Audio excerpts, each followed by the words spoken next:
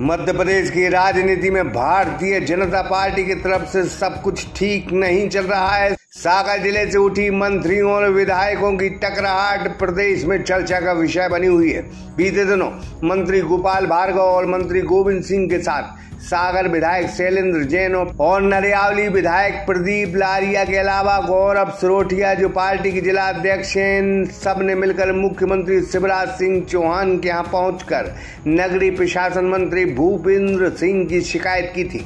अब आपके शहर सागर में डाइट रेस्टोरेंट सुविधा के साथ अनुभवी ट्रेनरों सहित gents and ladies sunshine gym, पता याद रखें, राजघाट रोड, तिलीवाड़, सागर, मध्य प्रदेश।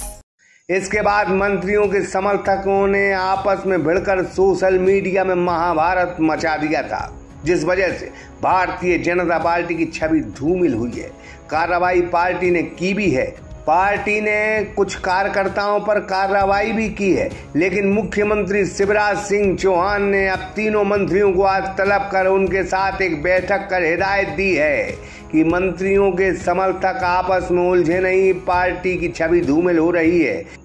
वही सूत्रों के हवाले से खबर है कि मंत्रियों के साथ शिवराज सिंह चौहान ने बैठक कर ये निर्देश दिए हैं तीनों मंत्रियों को और कहा है कि अपने अपने समर्थकों को समझा लिया जाए। और पार्टी की गाइडलाइन है, अनुशासन जो पार्टी का है उसको वो बनाए रखें। पार्टी के बारे में अनर्गल टिप्पणी सोशल मीडिया पर न करें। साथ ही सूत्रों के हवाले से यह भी खबर है कि सागर के कुछ नेताओं पर गाज गिर सकती है। उन्हें पार्टी की जिम्मेदारियों से पृथक कर दिया जा सकता है। लेकिन सागर के मंत्रियों की आपस के खींचतान मध्य प्रदेश में सुर्खियाँ ज़रूर बन गई। सागर जिला इस वक्त राजनीति का पावर सेंटर है, जहाँ राजनीति और बलचस्प की लड़ाई मध्य प्रदेश में चर्चा का केंद्र ज़रूर बनी है। इकराम खान के साथ शंकर विश्वकर्मा, सागर एक्सप्रेस, न्यूज़ सागर।